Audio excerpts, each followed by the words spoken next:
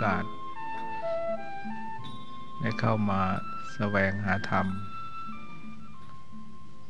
หรือมาแสวงหาบุญกุศล เพื่อเป็นหนทางที่เราจะได้รู้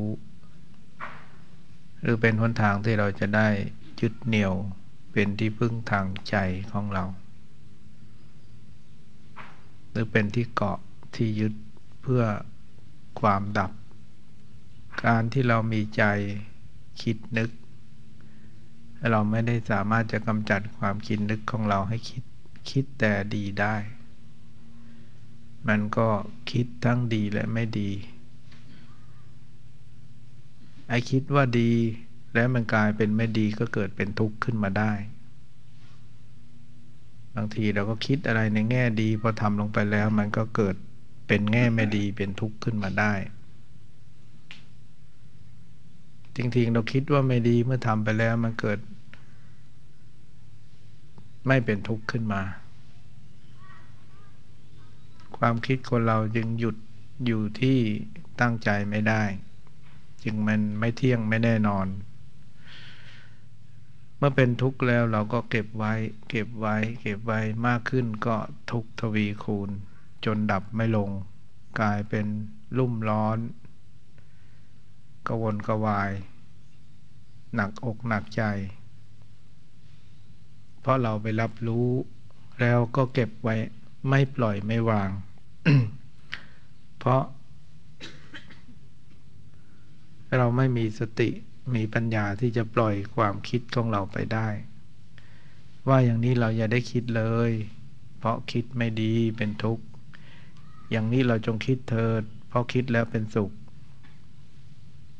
จงคิดแต่ที่ดีๆ เถิด อย่าคิดเรื่องไม่ดีเลย แต่มันก็ห้ามไม่ได้ เพราะความคิดแต่เรื่องไม่ดีมันมากขึ้น มันก็เพิ่มความติดความยึดมากขึ้น จนกลายเป็นเคยชิน อันนี้นะเป็นทุกข์ของบุคคลที่เกิดมา ไม่ได้แก้ความคิดตัวเอง คนโดยมากก็ไปแก้ความคิดด้วยการระบายออก เล่าให้คนอื่นฟังบ้าง ไปเที่ยวไปกินไปเต้นไปหาทางดับพิธีอย่างอื่น แต่กลับมาบ้านแล้วก็เข้าที่เดิม มันไม่ได้หยุดความทุกข์ใจได้ ไม่ได้หยุดความกระสับกระส่ายได้ ฉะนั้นเมื่อเรามาวัดเราก็มาแก้ความคิดของเราใหม่ก็เรียกว่าเป็นบุคคลที่เกิดใหม่ในศาสนา เป็นบุคคลที่เกิดใหม่ ได้ชีวิตใหม่ในศาสนา ก็มาคิดแต่แง่ดี มาคิดเป็นทานโดยการเสียสละเพื่อเกื้อกูลเพื่ออนุเคราะห์ให้แก่คนผู้เดือดร้อนที่ต้องการ เมื่อเราให้ไปแล้ว ได้อะไรกลับคืนมา ให้ไปแล้วกลับเกิดความสบายใจ สิ่งที่เรารักเราให้ได้ คนอื่นเขาก็รัก เขาก็อยากได้ของเรา ให้ไปแล้วเขาก็เอาไปใช้ เอาไปกิน เอาไปให้ความสะดวกกับชีวิต เขามีความสุขมากที่เราให้เขาไป เรามีความสุขมากในเมื่อเราเสียสละได้ เพราะหมดความห่วงใยในทรัพย์สมบัตินั้น อันนี้เป็นผลทาน บุญเกิดจากการให้ทานอย่างนี้ บุญคือใจเย็น บุญคือใจดี บุญคือใจสงบ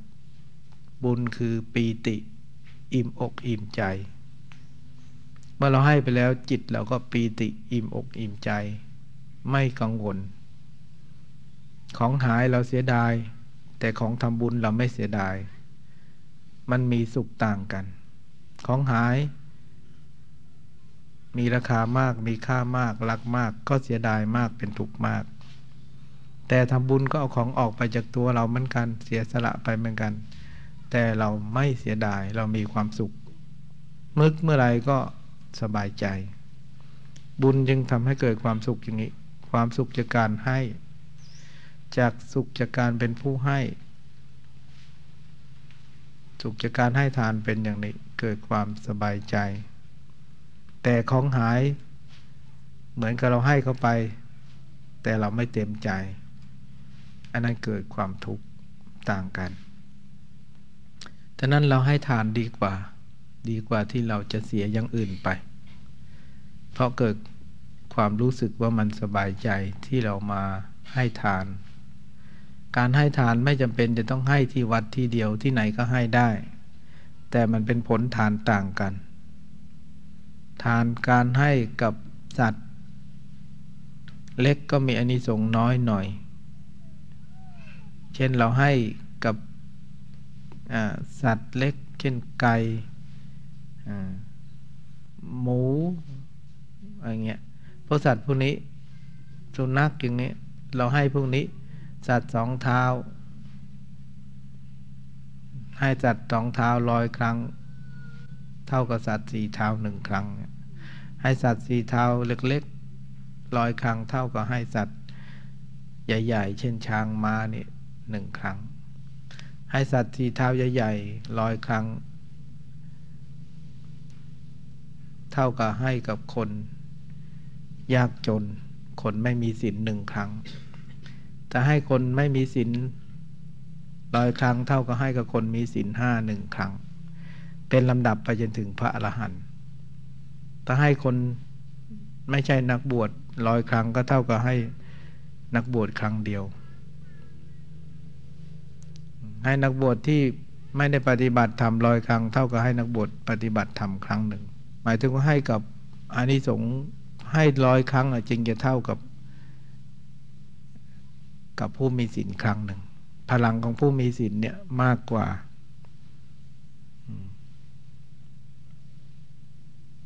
ให้กับคนไม่มีให้กับคนมีศีลเนี่ย เพียงครั้งเดียวเพียงครั้งเดียว แต่มีสงมีอันนี้สงมาก เท่ากับให้คนไม่มีศีลร้อยครั้งแต่นั้นเรียกว่า เพราะอะไร เพราะคนมีศีลฉลาด ได้ไปแล้วไม่เบียดเบียนใครไปทำประโยชน์ส่วนตัวและผู้อื่น ให้กับพระเป็นยังไงจึงได้นิสงมาก เพราะพระ เป็นผู้ทรงธรรมวินัย เพราะรักษาพระไตรปิฎกปฏิพฤติปฏิบัติธรรม ที่มาสามารถที่จะชี้แจงข้อวัดปฏิบัติบุญบาปสวรรค์นิพพานให้แก่ชาวบ้านได้ ให้คนทั่วไปได้อานิสงส์จึงมากกับผู้ผู้บริสุทธิ์ หรือผู้ปฏิบัติให้ละกิเลสนี้ถือว่าเป็นผู้ดับทุกข์อานิสงส์ก็มากกับคนที่วุ่นให้กับคนวุ่นวาย คนที่ใจสงบ มีผลฐานน้อยกว่าคนที่ใจไม่สงบดังนั้นเมื่อเป็นอย่างนี้แล้วเราก็เลยกลายเป็นผู้ให้ให้ที่บ้านก็ได้ ให้แก่พ่อกับแม่ ให้กับปู่ย่าตายาย ให้แก่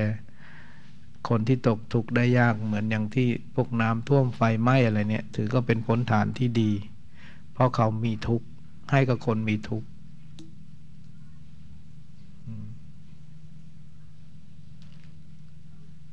นี่การให้มันก็มีความสบายใจ พอเขาให้ให้ไปแล้วเราก็ภาคภูมิใจ การรักษาสิ่งก็เช่นเดียวกัน เพราะกลายเป็นคนเรียบร้อยทั้งกายวาจา เมื่อก่อนเราไม่มีศีลเราไม่เรียบร้อย จะพูดก็พูดเยอะอะไรก็ได้หยาบหยาบก็ได้ จะทำอะไรก็ทำได้ โดยแสดงกิริยาอะไรที่มันหยาบหยาบกินเหล้าเมายาอะไรก็ได้ แต่พอมีศีลแล้วก็เกิดความสำรวมกายใจขึ้นมา วาจาขึ้นมา ก็เรียกว่า เกิดความเรียบร้อย เกิดความสงบ ใจคนเราเมื่อเกิดความสงบมันก็เกิดความสุข เท่านั้นเองเหมือนเรามานั่งกันอยู่ที่เนี่ย เรานั่งกันเรียบร้อยทุกคนเนี่ยก็สงบ คนน้นเดินคนนี้จามคนนี้ไอคนน้นพูดคนนี้คุย มาอยู่อย่างนี้ มันก็ไม่สงบก็ไม่เกิดความสุข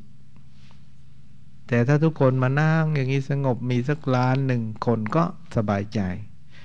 มันก็เกิดความปิติแม้คนมาก ๆ ยังสงบยังเรียบร้อย มันน่าอัศจรรย์ใจ มันก็ทุกคนก็เกิดความประทับใจว่ามันสงบมันเงียบ แต่ถ้าเรามานั่งกันไม่กี่คนแต่มันไม่สงบคนโน้นเดินคนนี้นั่งวุ่นวายพูดจาคุยกันเจียวจาวพอไม่เรียบร้อยก็ไม่สงบ เพราะไม่เรียบร้อย เมื่อไม่สงบก็ไม่เกิดความสบายใจ ศีลก็เหมือนคนนั่งเยอะๆแล้วเรียบร้อยนี่แหละมันก็คนมานั่งเป็นพันๆหมื่นๆในวัดเนี่ยแล้วก็เรียบร้อย ไม่เจียวจาวนะศีลเป็นลักษณะอย่างนั้นสำรวมกายวาจาใจเรียบร้อยก็เกิดความสุขสงบ คนไม่มีศีลก็เหมือนคนวุ่นวายเนะเหมือนคนที่นั่งแล้วเจียวจาวผุดลุกผุดนั่งเอะอะโวยวาย คนไม่มีศีลก็เหมือนกับมาอยู่ในหมู่มากไม่สงบนั่นเอง ย่อมไม่เกิดความสบายใจย่อมไม่เกิดความสุข มันต่างกันจึงว่าศีลสำรวมกายวาจาใจให้เรียบร้อย สมาธิตั้งใจมั่น มั่นอะไร สมาธิมั่นอยู่ในธรรมะในพระพุทธเจ้าไว้ที่ใจ ระธรรมเจ้าไว้ที่ใจพระสงฆ์เจ้า สมาธินี้เข้าถึงความสงบมากขึ้น คือสามารถควบคุมอารมณ์ที่ฟุ้งซ่านเช่นเราคิดอะไรตัดใจไม่ได้เสียใจดีใจวุ่นวายใจคืนนี้นอนไม่หลับทั้งคืนอย่างเงี้ยเราเจ็บหัวใจ เช่นคนเราถูกเขาหลอก หรือทำเขาทำให้เราผิดหวังเสียใจอย่างร้ายแรงหรือทำกิจการค้าอะไรล้มเหลว กลัวจะขาดทุนมากอะไร เกิดความ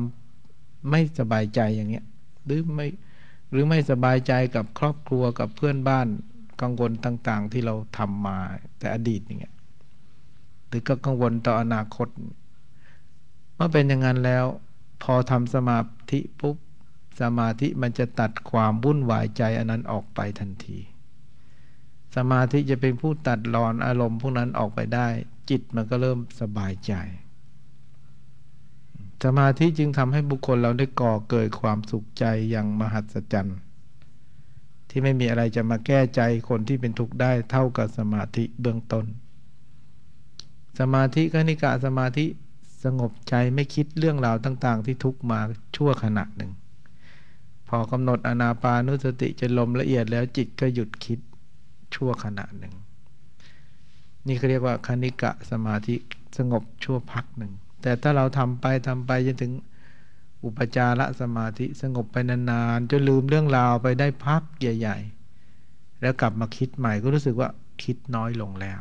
ใจสบายเยือกเย็นขึ้น เรียกว่าอุปจารสมาธิ เกิดความฉลาดความเข้าใจในอุบายที่จะทำใจได้แล้วว่าหนทางสงบใจนี่ดีที่สุด แล้วเมื่อเราทำมากขึ้นไปจนถึงอัปปนาสมาธิ สามารถมีทุกข์แล้วกำหนดให้ใจสบายได้ทันที มีทุกข์แล้วให้ใจสงบได้ทันที มีทุกข์แล้วให้ใจสงบได้ทันที ไม่คิดอะไรตัดใจได้ เรื่องวุ่นวายต่างๆ ที่มีมาก็พยายามทำจนดับนั่นแหละเขาเรียกว่า การทำสมาธิจึงเป็นเครื่องดับทุกข์ไม่มีใครจะปลอบใจเราดีเท่ากับการฝึกใจให้สงบ จะเป็นทุกข์เดือดร้อนใจเสียใจผิดหวังแค่ไหนถึงจะฆ่าตัวตาย แต่ถ้ามาฝึกสมาธิแล้วจิตก็จะแก้ไขได้ จะไม่ทำลายตัวเอง จะเข้าใจในวิธีว่านี่เป็นทางดับ ฉะนั้นธรรมะคำสั่งสอนพุทธเจ้าจึงเป็นวิธีทางดับทุกข์ที่ใจ ทุกคนสามารถจะปฏิบัติได้เพราะมีความคิดเหมือนกัน เว้นอยู่คนเสียสติ ไม่สามารถจะคุมสติตัวเองได้ บ้าใบหูหนวก หูหนวกก็ยังทำได้ แต่ถ้าบ้าใบหรือวิกลจริตไปนี้ พวกนี้ไม่มีโอกาสจะคุมใจตัวเองได้ แต่มนุษย์ธรรมดาทุกคนเราเนี่ยสามารถที่จะทำใจได้ทุกคนที่จะทำใจให้สงบทำใจดับทุกข์ได้ทุกคน เพราะทุกสุขมันเกิดที่ใจสงบไม่สงบเหตุการณ์ทั้งหลายที่เกิดขึ้น ที่เป็นกรรมเก่ากรรมใหม่อะไรมันก็เราทำมาจากใจเรา จากการดำริคิดนึกต่างๆ แล้วก็สร้างตามความคิดตัวเอง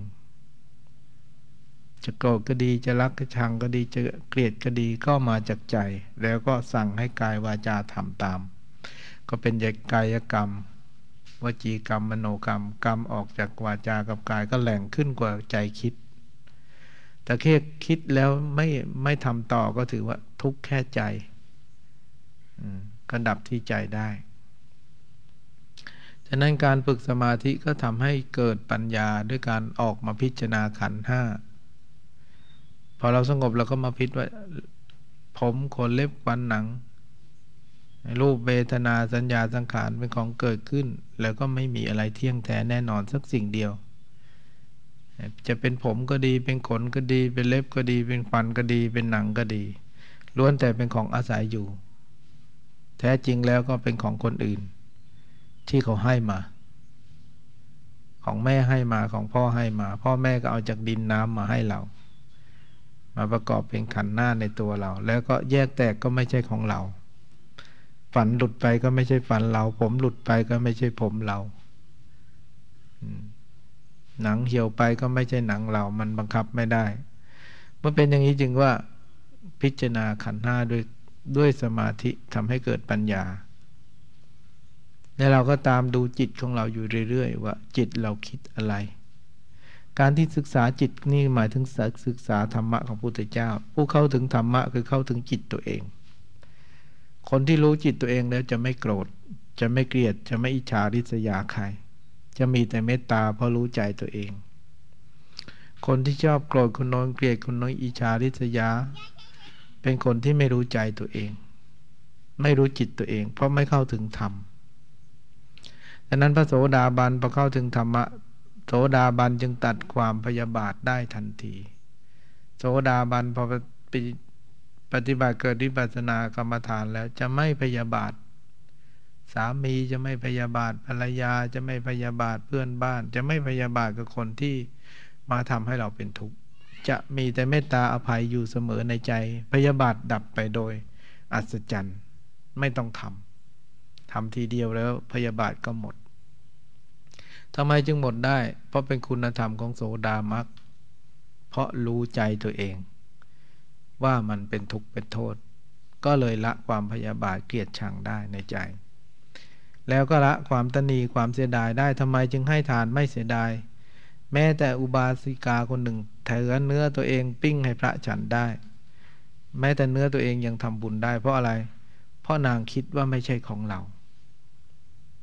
ทำไปแล้วสบายใจทุกสิ่งทุกอย่างนี้ถือว่าเป็นของอาศัย ตายแล้วเอาไปไม่ได้ เพราะความคิดว่าไม่ใช่ตัวเรานั่นแหละโสดาบันจึงทำบุญไม่เสียดาย เกิดแต่ความสุขใจ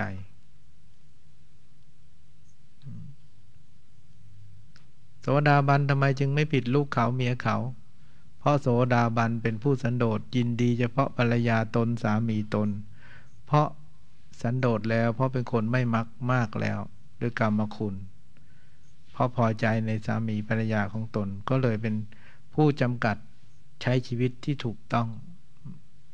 ไม่ไปอบาย โสดาบันจึงไม่ตกนรก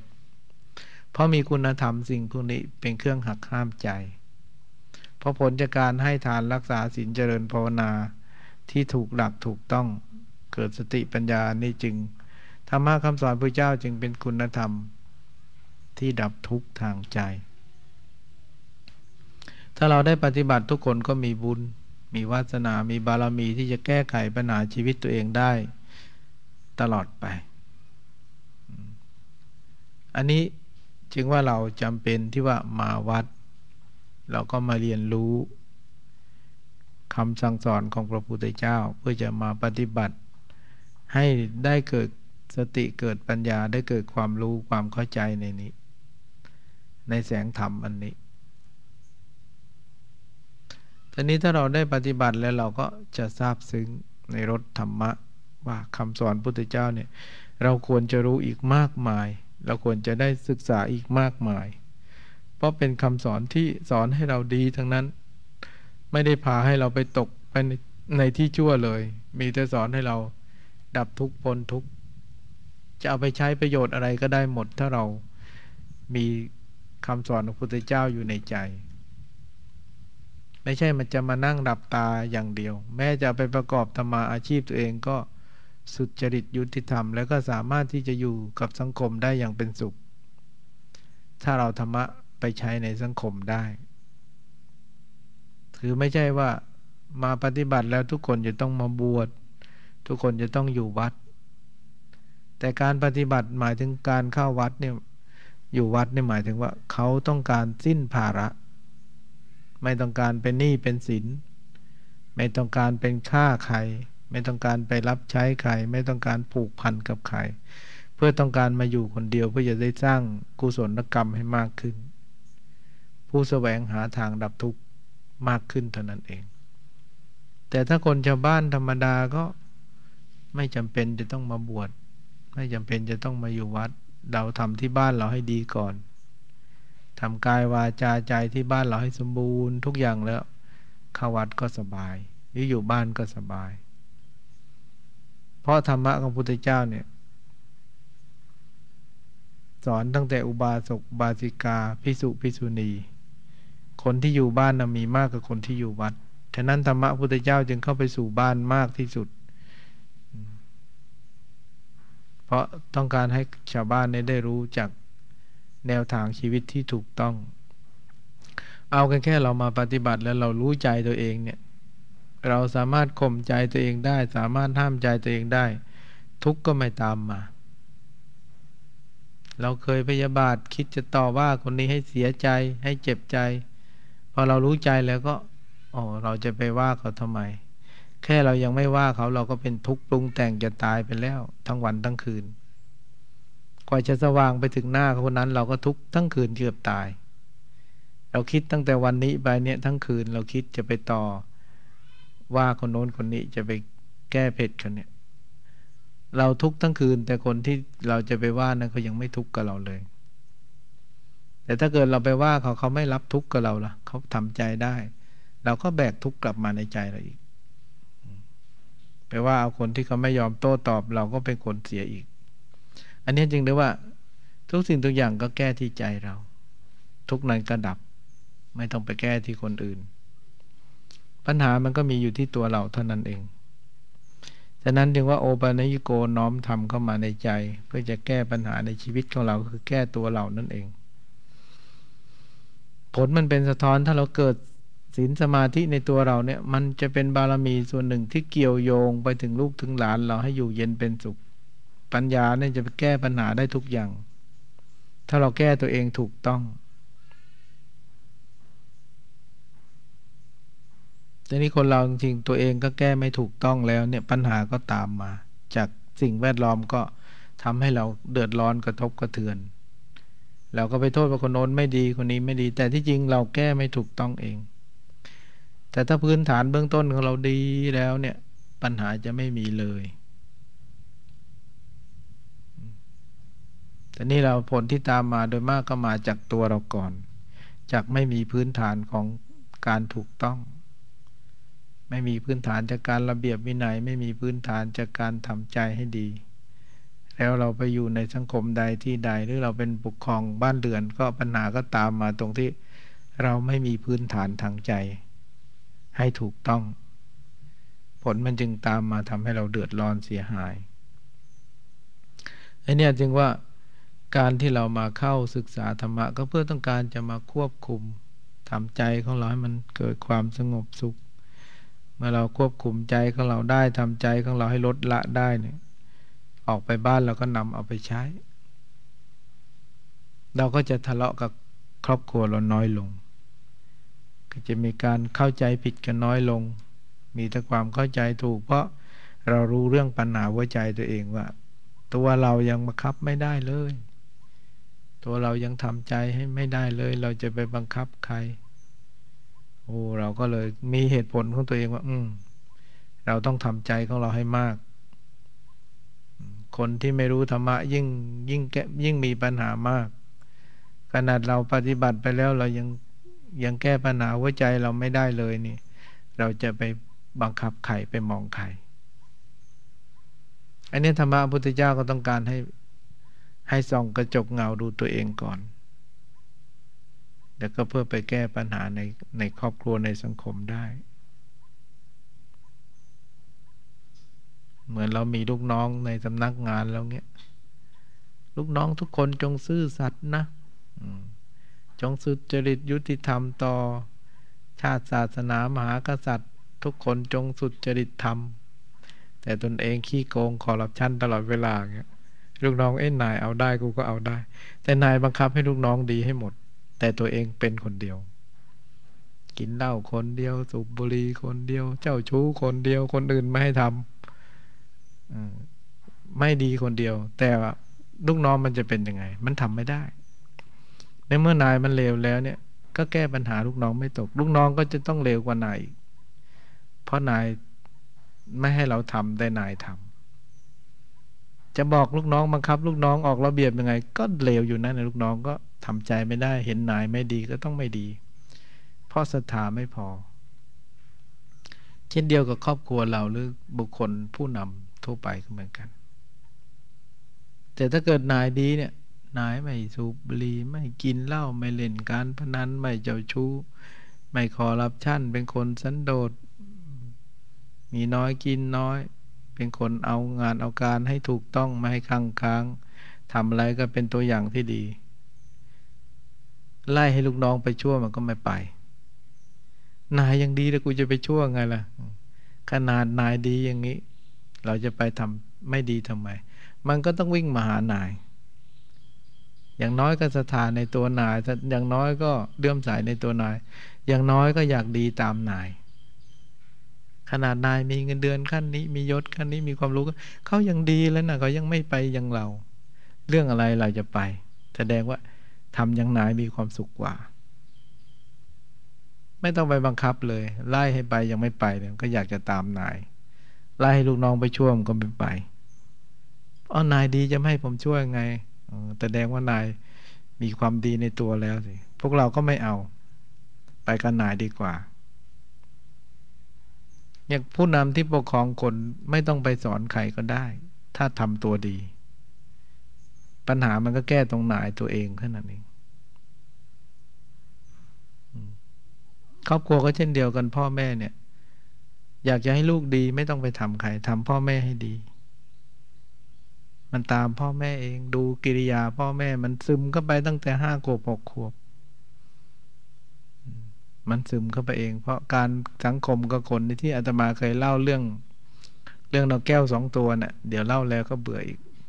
ที่เคยเล่านกแก้วสองตัวว่า ไอ้ตัวหนึ่งไปอยู่กับโจร ไอ้ตัวหนึ่งไปอยู่กับฤาษีลูกนกแก้วมันออกลูกสองตัวแล้วมันถูกน้ำพัดไปไปอยู่กับโจร มันเป็นโจรเลย พูดเป็นโจรใจอมหิตเป็นโจร ทำงานร่วมกับโจร เจอใครก็ไปบอกโจรให้มาจับมาฆ่า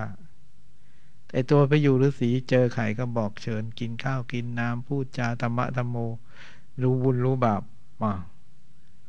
ลองสิสองสองตัวไปอยู่กับฤาษีมันก็พูดเหมือนฤาษีหมด ไอสองตัวไปอยู่กับโจรก็พูดเหมือนโจรหมด แต่นี่มันแยกกันมันก็เลยนิสัยต่างกัน เพราะการสังคมคบคน อันนี้สำคัญมาก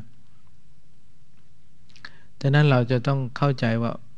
บู้ให้กำเนิดนิสัยนั่นแหละคือพ่อแม่คือครูบาอาจารย์คือคนเริ่มต้นในชีวิตเรา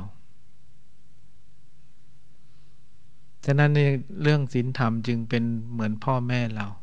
ที่เราไปใกล้ชิดแล้วเราก็สบายใจเราก็อยากทำแต่ความดีอยากสร้างแต่กุศล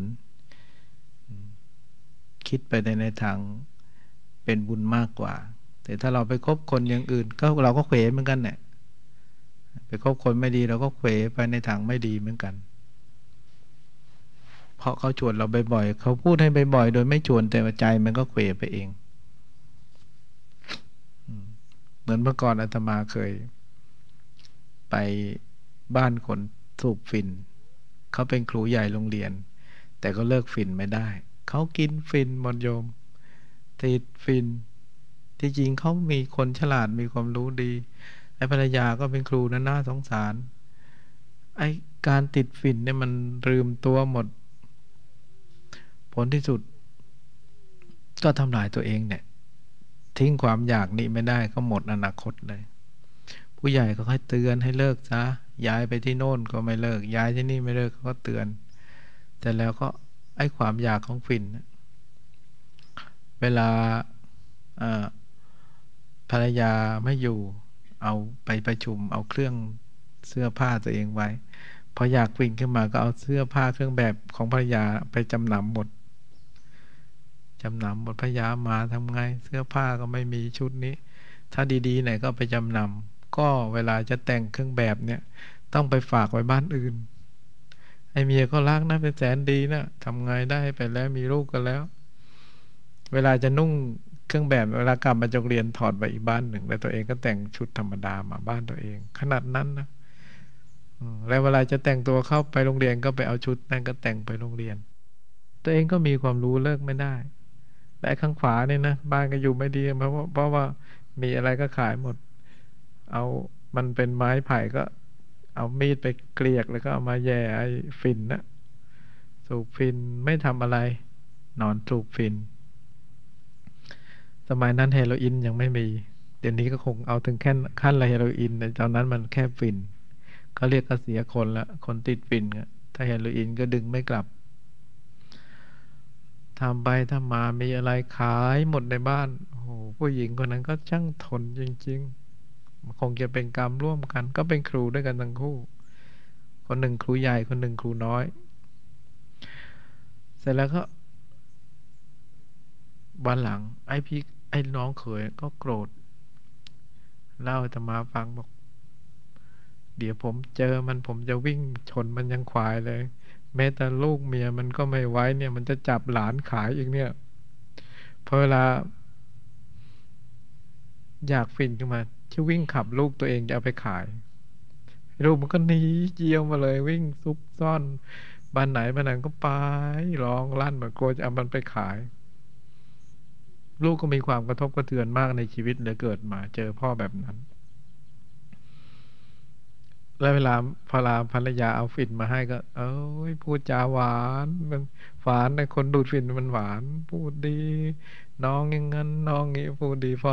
พออยากฟินก็มาเอาแล้วระเบิดหมดเลย ลูกเต้าเห็นไม่ได้วิ่งอาจจะเอาไปจับขายอาตมาไปนั่งดู ไปพอดีบังเอิญเขา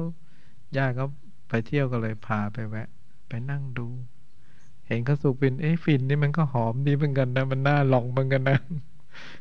เออแค่ไปนั่งหน่อยเดียวฟินหอมโอ้นี่คนเรานี่ นี่ถ้ามันนั่งหลายๆฟันต้องใส่ต้องลองแน่เลย แค่เรารู้ว่ามันไม่ดีนะเราไปนั่งตอนนั้น แล้วก็วัยรุ่นไปนั่งเห็นเขาสูบฟินนี่มันหอมดี มันน่าลองเหมือนกันนะเรายังไม่เคย มันน่าจะลองสูบสักทีใจมันนึกอย่างเดียว นั่นไปคิด แต่เราไม่ได้ดูสภาพไอ้คนนั้นมันแย่แค่ไหน แต่ก็ไม่ได้ลองหรอกเพียงแต่นึกอย่างเดียว แสดงว่าคนเราเมื่อไปคบกับใครมันก็จะต้องไปอย่างนั้น ไปนั่งก็ดูดูดฟินมันก็ยังคงจะอยากดูดฟิน ไปนั่งดูเขาเล่นการพนันก็คงอยากจะเล่นการพนัน ไปนั่งดูเขากินเหล้าคงอยากจะกินเหล้า เราไปคบกับคนบางคนชอบนินทาชาวบ้าน เราก็คงอยากจะนินทาชาวบ้าน อยากจะเอาเรื่องคนอื่นมาพูดเหมือนกัน มันก็ไปกันไปมันไปกันตามกัน เพราะไปอยู่ใกล้ใครถ้าไปนั่งคนที่คุยธรรมะธรรมโมชวนเข้าวัดเข้ามาเราก็คงอยากจะมาวัดเหมือนกัน เพราะมันไปเจอไอ้คนชวนไปวัดอย่างเดียว เพราะอะไร เพราะเราครบคนอย่างนั้น มันก็ไปอย่างนั้นคบคน ใจดีเราก็ใจดีคบคนใจร้อนเราก็ใจร้อนคบคนใจบุญเราก็ใจบุญคบคนใจบาปมันก็ใจบาป อันนี้ก็เป็นพื้นฐานเบื้องต้นของคนเหมือนกัน เช่น เราเป็นพ่อเป็นแม่เนี่ยเหมือนกับเราเป็นเพื่อนเป็นมิตรของลูกเราที่จะให้คบกับเรา กับสามีภรรยาก็เช่นเดียวกัน ฉะนั้นธรรมะเป็นบาดฐานที่จะทำให้ทุกคนเหล่านี้มีความเจริญไม่เปลี่ยนแปลงไปในทางที่ต่ำ ก็จะช่วยทำให้ครอบครัวเราอยู่เย็นเป็นสุขได้จะถึงว่าใกล้ที่ไหนก็ผูกพันที่นั่น อันนี้เราก็ต้องเข้าหาธรรมะ เป็นเครื่องผูกใจเราเป็นเครื่องยึดเหนี่ยวใจเรา เราก็จะได้เข้าหาทางดับทุกข์พอมีเรื่องอะไรขึ้นมา เราก็มีธรรมะเท่านั้นเป็นที่พึ่ง จะเจ็บจะไข้จะแก่จะตายจะทุกข์อะไร เราก็ไม่มีอะไรจะเป็นที่พึ่งเท่ากับพระธรรมคำสอนพุทธเจ้า ที่จะนึกแล้วสบายใจ สิ่งอื่นก็ทำให้เราทุกข์ใจฉะนั้นธรรมะคำสอนพระเจ้าจึงมีประโยชน์มาก ที่จะมาพัฒนาจิตใจของเราทุกคน จึงว่าที่เรามาเข้าวัดก็เพื่อต้องการมาฝึกใจให้รู้ทาง แล้วก็นำไปปฏิบัติที่บ้าน ให้ใจนั้นมันเยือกเย็นลง ให้มันมีสติในการเป็นอยู่ในชีวิตประจำวัน มันก็จะแก้ปัญหาครอบครัวไปเองนี่จะเข้าวัดจะไปหาน้ำมนต์ช่วยสะเดาะเคราะห์ที่หาหวยหาเครื่องป้องกันจะไปคิดอย่างนั้น มันดีชั่วอยู่ที่ตัวเรา พระจะให้เราดีตลอดเวลา ถ้าเราทำความดี ก็จะแก้ปัญหาสะเดาะเคาะต่อชะตาไปได้หมดในเมื่อ เราให้ทานรักษาศีลเจริญภาวนานี่เป็น เป็นสิ่งที่แก้ใจได้อยู่แล้ว เป็นสิ่งที่แก้กรรมได้อยู่แล้ว ไม่ต้องไปแก้อย่างอื่นเลย ให้ทานก็เป็นการสะเดาะเคาะต่อชะตาอยู่แล้วรักษาศีลก็เป็นการเพิ่มพูนไม่ให้ตกไปในที่ต่ำคนรักษาศีลไม่ให้ตกไปในที่ชั่ว คนทำสมาธิทำให้เกิดปัญญา ทำให้จิตใจเข้มแข็ง ต่อสู้กับชีวิตได้ขึ้น อันนี้ก็ถือว่าเป็นการสร้างบารมีเป็นการแก้ปัญหาชีวิตตัวแล้ว ถ้านำปฏิบัติมากๆขึ้นมันก็เข้าใจละเอียดอ่อนไปเอง ถ้าไม่งั้นพระพุทธเจ้าคงไม่มาสอนพวกเรา ท่านเห็นแล้วว่าคำสอนพุทธเจ้าเนี่ยมันเป็นหลักปกครองที่ ให้ทุกคนได้รับความสุขแม้ตั้งแต่อุบาสกไปจนถึงพระพอเข้าใจไม่โยม ก็บอกพูดมากเกินกระชั่วโมงนี่รับไม่ไหวแล้ว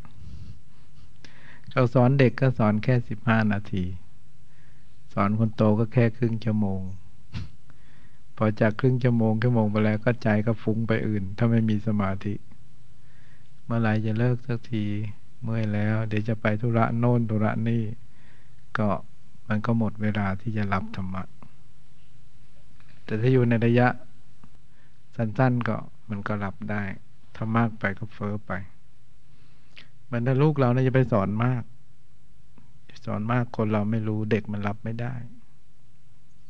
เด็กนี่จะฟังเราแค่ห้านาทีสิบนาทีเขาอยากเล่นไปอื่น นี่คนเรามาจับสอนถ้าต้องครึ่งชั่วโมงเด็กมันเบื่อนะเข้ามาลำคาญได้ยินคำนั้นหนีเลย คนโตก็ไม่ต้องหลังกับสามีภรรยา เราก็ไม่ต้องไปสอนมาก ไม่ต้องไปพูดมาก สอนในการกระทำอย่างเดียวไม่ต้องไปบอกกัน เพราะมันไม่รับ ใช่ไหมโยม อย่างมันไม่ที่อาตมาเล่าว่ามีนายแล้วไม่ต้องไปสอนลูกน้องทำดีนั่นคือการสอนกันกัลยาสามีก็ไม่ต้องสอนกันทำความดีนั่นคือการสอนกัน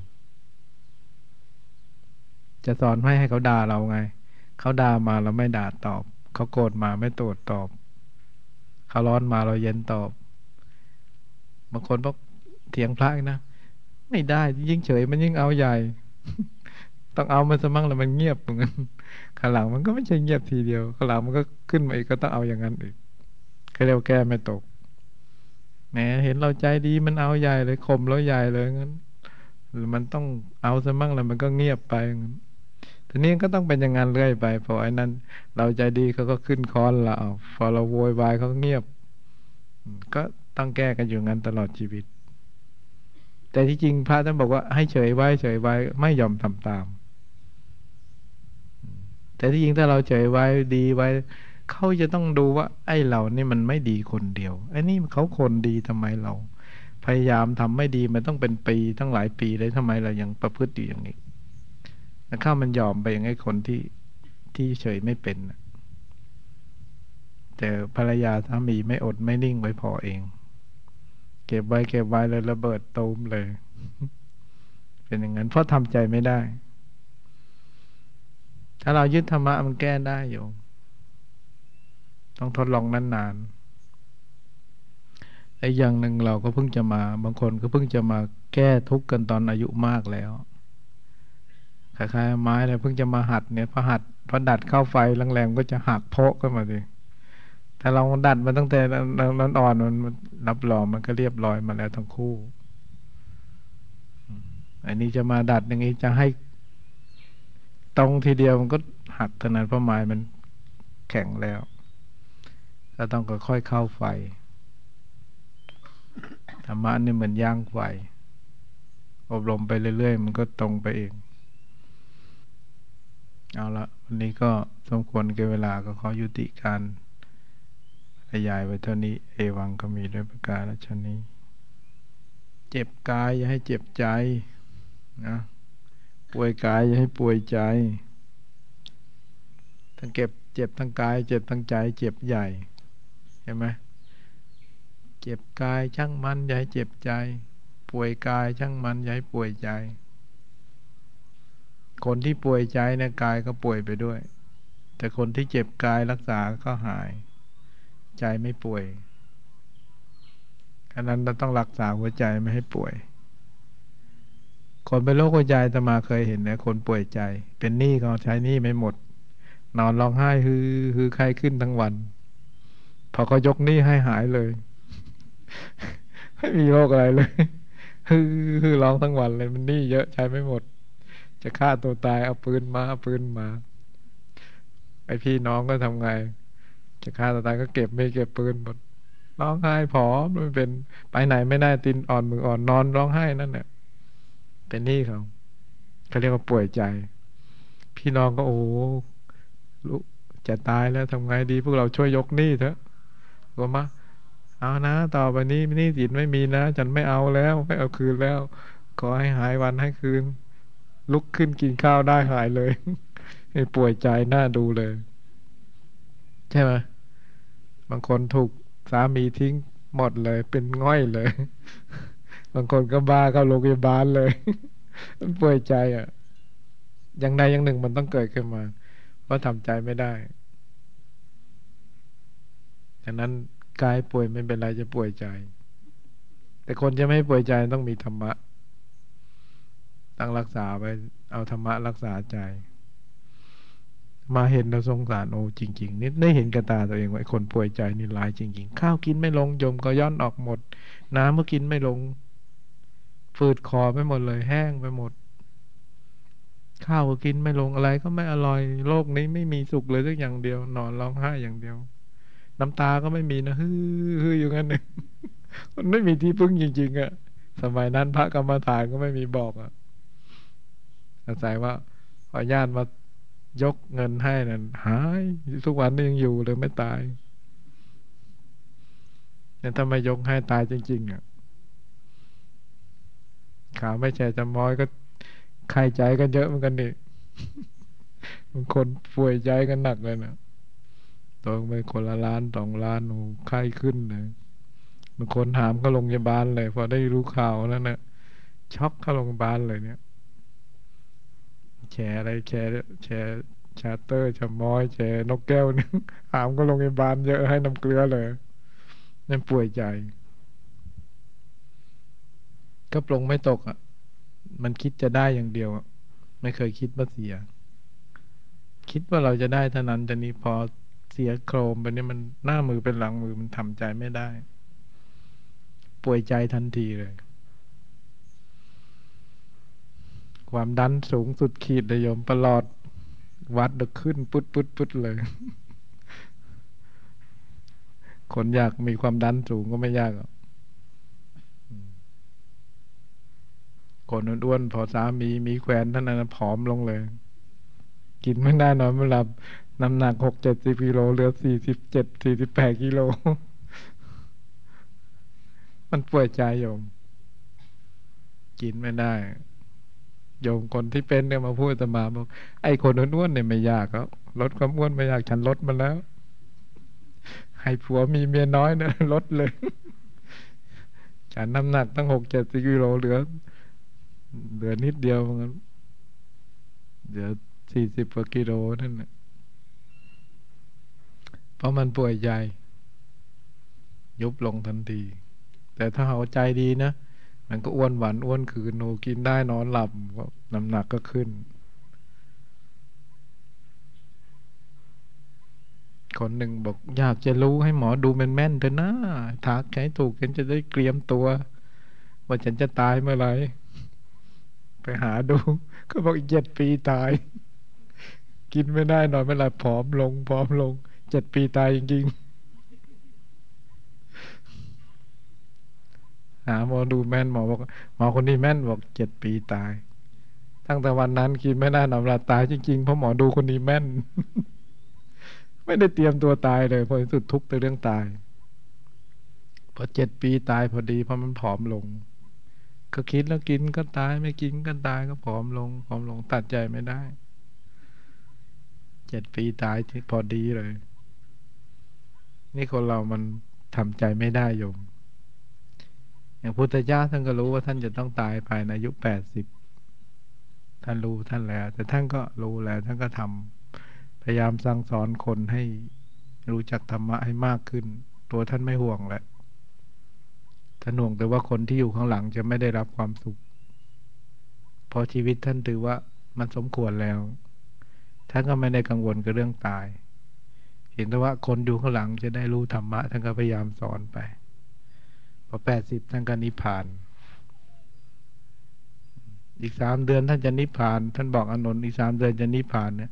โอ้ยคนที่ยังไม่ได้บรรลุพระอรหันต์ก็เป็นทุกข์มากเลยว่า อีกสามเดือนพุทธเจ้าจะไม่เจอเรา เราจะไม่พบพุทธเจ้าแล้ว เราจะไม่เห็นหน้าพุทธเจ้าอีกแล้วเงี้ยคนก็คิดเสียใจ แต่ถ้าองค์เปล่าเลย ท่านถือเป็นเรื่องธรรมดาของขันห้าจะต้องเป็นอย่างนั้น ผู้ทำใจได้ก็เลยเตรียมตัวไว้เรียบร้อยแล้ว เราไม่ต้องไปหาหมอดูก็ได้ พวกเราไม่ถึงร้อยปีก็ตายจนหมดใครจะอยู่ถึงร้อยปีร้อยปีก็ขดเป็นด้วงกันนั่นแหละแม่คนอื่นป้อนอยู่ ให้คนอื่นเจ็ดขี้เจ็ดเดียวเราก็มีประโยชน์อะไร จะไปอยู่ทำไมต้องร้อยปี รีบตายดีกว่า เดี๋ยวคนอื่นจะได้ไม่ลำบาก นี่อยากจะอยู่เพื่อทรมานตัวเอง อยากจะอยู่เพื่อทรมานลูกหลาน เป็นพระเขาทั้งนั้น อายุต้องร้อยปีนะใช่ไหม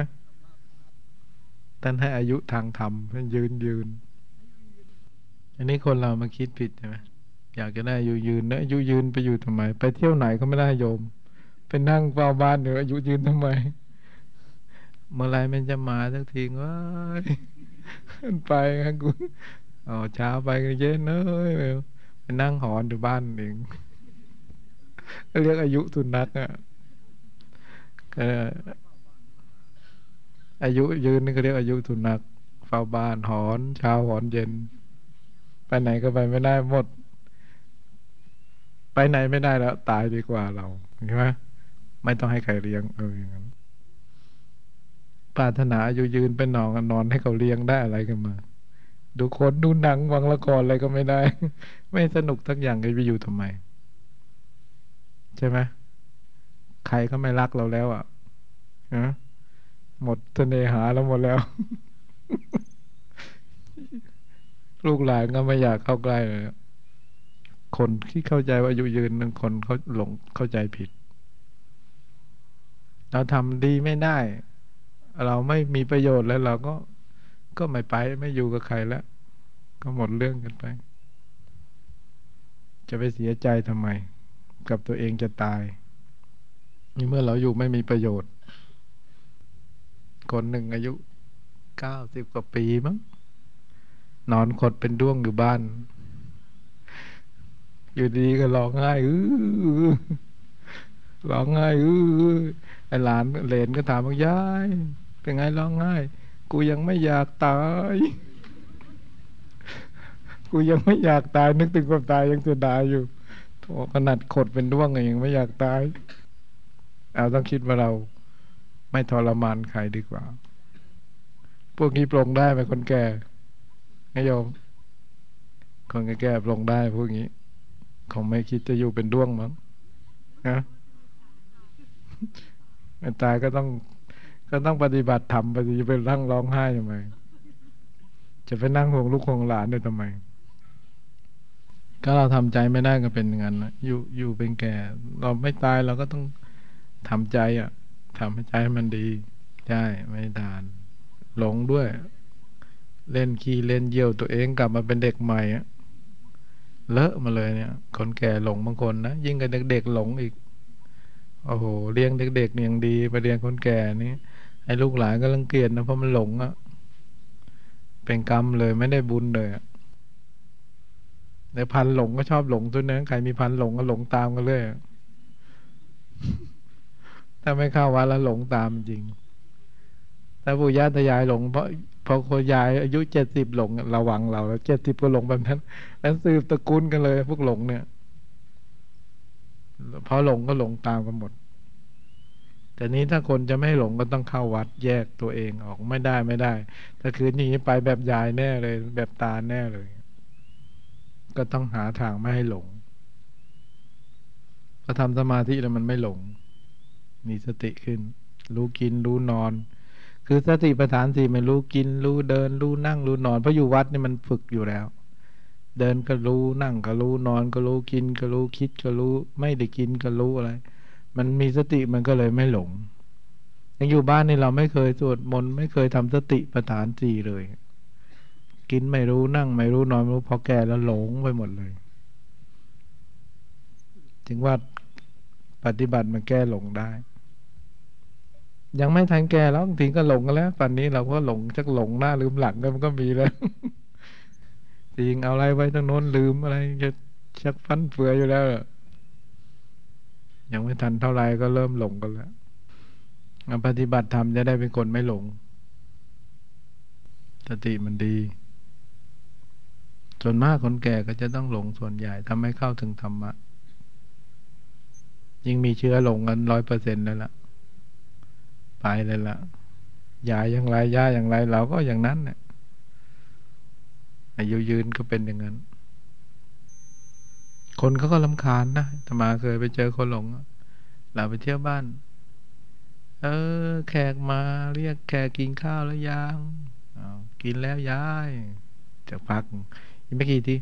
แขกมาเรียกแขกกินข้าวแล้วยังอยู่นั่นเองไอเหมือนไอแผ่นเสียงตกล่องไม่ผิดเลยพูดอะไรก็พูดอยู่นั่นเนี่ยจับออกมาจากร่องเดี๋ยวก็เข้าร่องเดิมอีกเจ้าร่อง ไอ้คนมันก็ลำคาญนะย้ายกินแล้วจะบนอยู่ทำไมเงี้ยแกก็ไม่รู้นะแกก็เข้าร่องเดิมก็เรียกเป็นเสียงตกร่องเลยนี่เพราะว่าความหลง มันไม่มีอะไรบังคับ มันไม่มีสติบังคับ เพราะไม่ได้ฝึกไว้ก่อน แกแล้วไม่ได้เข้าวัด หนุ่มสาวก็ไม่ได้เข้าวัด บนว่าคนก็กลัวตรงนี้เนี่ย จึงได้พยายามฝึกกันเข้าวัดกันการความหลงความความทุกข์ใจ เวลาเจ็บไข้จะได้ไม่ทรมานใจ เวลาแก่จะได้ไม่หลงลืมทำการกิริยาตายจะได้มีสติตาย ก็ไว้เอาธรรมะเท่านั้นที่จะช่วยได้ คนไม่เข้าวันมันก็เสียเปรียบมุ่งมุ่งจะทำมาหากินแล้วไม่ได้อะไรอย่างเดียว ได้แต่ได้แต่ทำมาหากินไว้คนอื่น แต่ตัวเองไม่ได้อะไรเลย คุณสมบัติอะไรก็ไม่ติดตัวไปพอหวังเป็นห่วงคนอื่นเกินกว่าตัวเองทำทับตายแต่ลูกหลานเขาไม่ได้สนใจเลยเขาก็เอาไปหมดบางทีเราทำให้เขาแทบตายเขาไม่ได้ห่วงใยเราให้เราต้องมาทำเอาเอง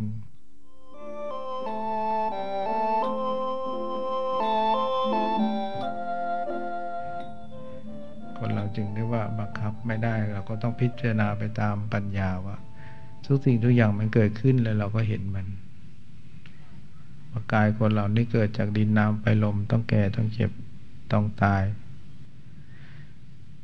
ทำไมพระพุทธเจ้าจึงพูดอย่างนี้พระพุทธเจ้าต้องการให้เห็นความจริง ไม่ให้คนเราหลงตัวเอง ไม่ให้ลืมตัวเอง ไม่ให้ลืมความดีที่จะทำ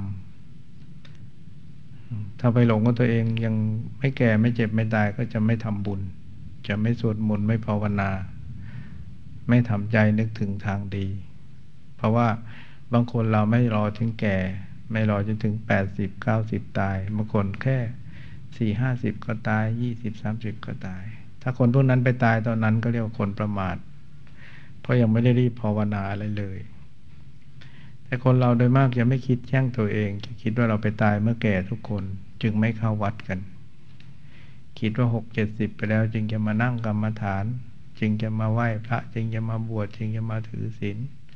ตอนนี้เรายังมีภาระการงานหน้าที่ต้องทำยังไม่ต้องไปวัดหรอก ก็คิดไปก่อนอย่างนั้นว่ายังไม่ตาย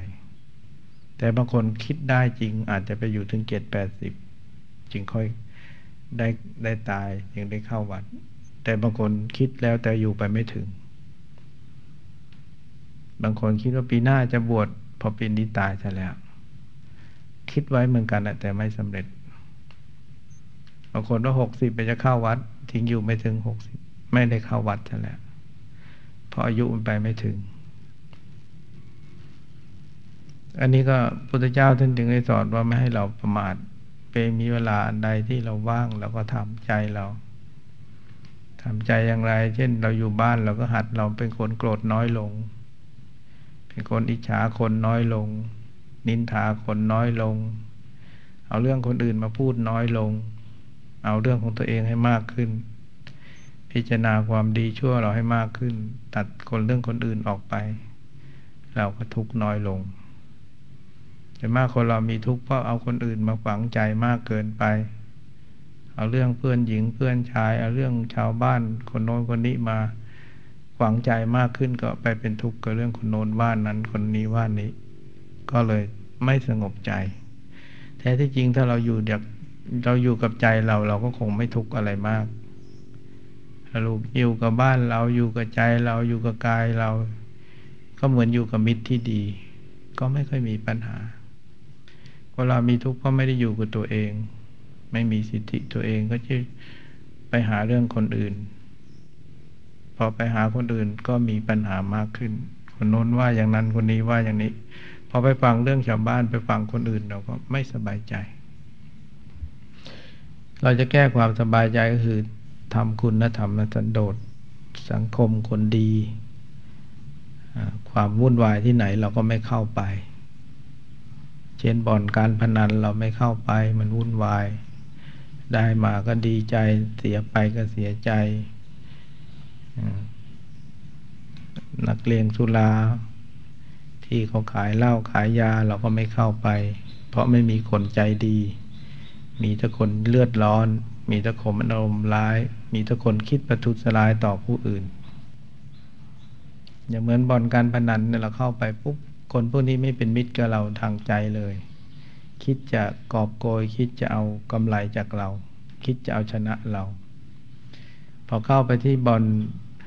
นักเลงกินเหล้าคนพวกนี้ก็กินแล้วก็เปลี่ยนอารมณ์เปลี่ยนนิสัย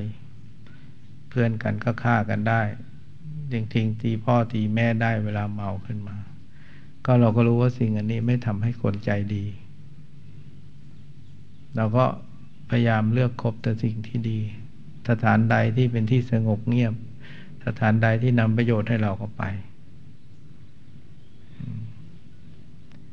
เหมือนนักเรียนเนี่ย ถ้านักเรียนไปหัดดิสโก้ รับรองเรียนไม่จบ เพราะอะไร เพราะไปคบคนไม่ดีสาวอาทิตย์ก็ไปแล้ว กลับมาก็ตื่นสาย เพราะอย่างนี้เพราะว่าไปสถานที่ไม่สงบ ไปอยากไปรู้ไปลองของที่เขาไม่เขาเขาว่าเจริญ แต่ที่จริงมันไม่ใช่พุทธเจ้าท่านก็ที่จริงพุทธเจ้าท่านสอนไว้ถูกต้อง เหมือนกับท่านรู้ไว้ตลอดเวลาว่าอะไรเหตุการณ์ข้างหน้าจะเกิดขึ้น เหมือนถ้าคนใดเดินตามทางท่านบุคคลนั้นก็เจริญ อย่างสังคมทุกวันนี้เพราะคนไม่รู้ธรรมะก็พยายามจะเอาอะไรต่ออะไรมาให้กับสังคมเรามากขึ้นพอเราไปทำตามเราก็ผิดพลาด อย่างพุทธเจ้าท่านสอนเลยเป็นชาวพุทธไม่ให้มีอบายมุก ไม่มีการกินเหล้าเมาสุราไม่เล่นการพนันไม่ไปเที่ยว กลางคืนไม่ไปประพฤตินอกรูนอกทาง